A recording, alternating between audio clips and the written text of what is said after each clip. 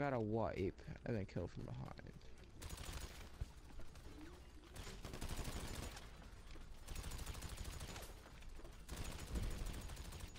Wow.